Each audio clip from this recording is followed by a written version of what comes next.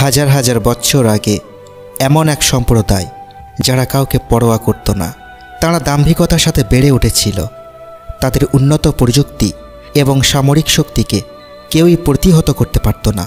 ঝলমলে একটি বিরাট শহর, যেখানে বিশাল বিশাল অট্টলিকা, যেন মাথা উঁচু করে আকাশের মেঘমালা ছুঁয়ে আছে। সেই সাথে উঁচু উঁচু রাজপ্রাসাদের মতো তাদের দাম্ভিকতা দিনের পর দিন বেড়েই চলেছিল। তারা ছিল মানব সভ্যতার সবচেয়ে উন্নত সম্প্রদায়। শস্য শ্যামলে ভরে উঠেছিল তাদের ক্ষেত খামার। তাদের জীবনে কোনো অভাব ছিল না। অপুরন্ত ধনভাণ্ডার আর সামরিক শক্তি দিয়ে যেন গোটা বিশ্বকে জয় করতে চায়। ভাবা যায়, এমন একটি উন্নত সভ্যতা মুহূর্তের মধ্যে বিলীন হয়ে গেল। তাদের দাম্ভিকতা মাটির সাথে মিশে গেল আর রয়ে গেল শুধু স্মৃতি এবং আসন্ন সম্প্রদায়ের জন্য এক বিরাট শিক্ষা। কি ঘটেছিল তাদের সঙ্গে? আর কেনই বা নিশ্চিহ্ন হয়ে গেল সেই উন্নত সভ্যতা?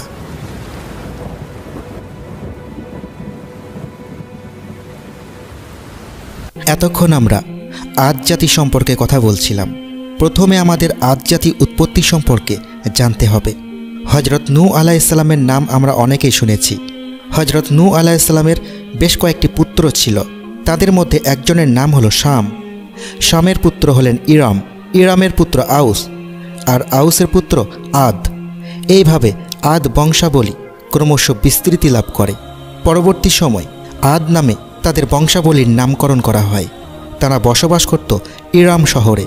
এই ইরাম শহরটি অবস্থান ছিল বর্তমানে সৌদি আরবে। আদ সম্প্রদায়ের তেরোটি পরিবার ছিল। আম্মান থেকে শুরু করে ইয়ামানের হাজারামাউত পর্যন্ত তাদের বসতি ছিল।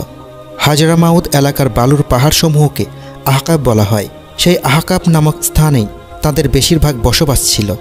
আদ জাতির ক্ষেত খামারগুলো অত্যন্ত উর্বর ও শস্য শ্যামল ছিল, যেখানে সব রকমের ফলের বাগান ছিল। তাদের ধনসম্পদ, বাগবাগিচা, ঝর্নার পানি, ফল ফলাদি ও খাদ্যশস্য দিয়ে তারা ছিল সমৃদ্ধশালী। আদন থেকে আম্মান পর্যন্ত তাদের ঘোড়া ও উটে পরিপূর্ণ ছিল। এদের হাতে কারুকার্য ছিল অতি নিপুণ এবং দেখার মতো। উঁচু পিলারগুলোই মূলত তখন সকলের নজর কেড়ে নেবার জন্য যথেষ্ট ছিল। দৈহিক আকার আকৃতিতে ও শারীরিক শক্তি সামর্থ্যের দিক দিয়ে আজ জাতিকে মানব ইতিহাসে অনন্য বলে চিহ্নিত করা হয়। এদের সবাই ছিল যেমন সাহসী, তেমনই ছিল শক্তিশালী। তাদের মধ্যে চারশো গজ পর্যন্ত লম্বা মানুষ ছিল আর বেটেদের উচ্চতা ছিল সত্তর গজ।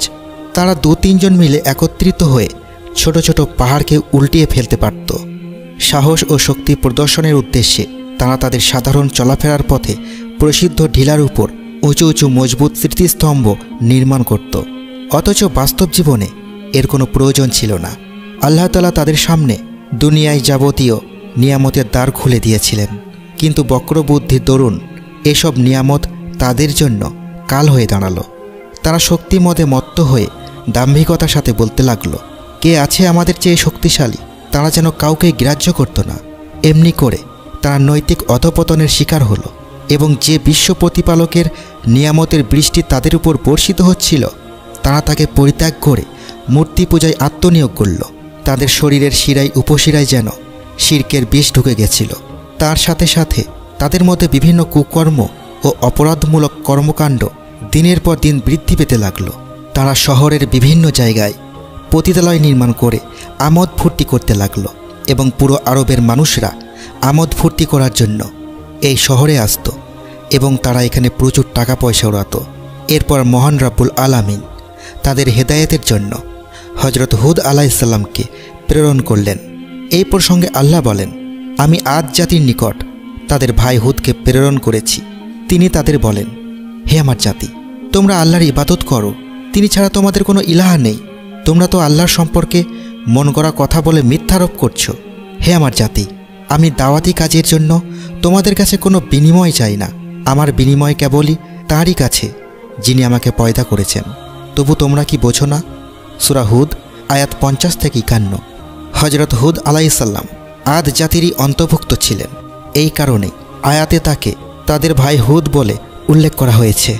হুদ আলাইসাল্লাম তার সম্প্রদায়কে মূর্তি পূজা ছেড়ে দিয়ে, তাওহিদের অনুসরণ করতে এবং অত্যাচার উৎপীড়ন ছেড়ে দিয়ে ন্যায় ও সুবিচারের পথে চলতে দাওয়াত দিলেন। তিনি বললেন, হে আমার কম তোমাদের পালনকর্তার কাছে তোমরা ক্ষমা প্রার্থনা করো, অতপর তাঁরই প্রতি মনোনিবেশ করো। এইভাবে দিনের পর দিন হজরত হুদ আলাইসাল্লাম তাদের আশ্বাসবাণী শুনিয়ে বললেন, যদি তোমরা এরূপ সত্যিকার তোবা ও ইস্তেগাফার করতে পারো, তবে তার পরিবর্তে পরকালের চিরস্থায়ী সাফল্য ও সুখময় জীবন তো লাভ করবেই এবং দুনিয়াতেও এর বহু উপকারিতা দেখতে পাবে। কিন্তু তারা বলল, হে হুদ, তুমি আমাদের কাছে কোনো প্রমাণ নিয়ে আসনি। আমরা তো তোমার কথাই আমাদের দেবদেবীকে বর্জন করতে পারি না, আর আমরা তোমার প্রতি ইমানও আনব না। তারা আরও বলল, আমাদের দেবদেবীদের তুমি নিন্দা করেছ, সেই জন্য তোমার মাথা খারাপ হয়ে গেছে। হে হুদ, তুমি পাগল হয়ে গেছো। তখন হজরত হুদ আলাইসাল্লাম পয়গম্বর সুলভ নির্ভীক কণ্ঠে জবাব দেন, তোমরা যদি আমার কথা না মানো, তবে শোনো, আমি আল্লাহকে সাক্ষী করছি, আর তোমরাও সাক্ষী থাকো যে এক আল্লাহ ছাড়া তোমাদের সব কাল্পনিক দেবতাদের সাথে আমার কোনো রকম সম্পর্ক নেই। এখন আল্লাহ ছাড়া তোমরা ও তোমাদের দেবতা সবাই মিলে আমার অনিষ্ট সাধনের চেষ্টা করো।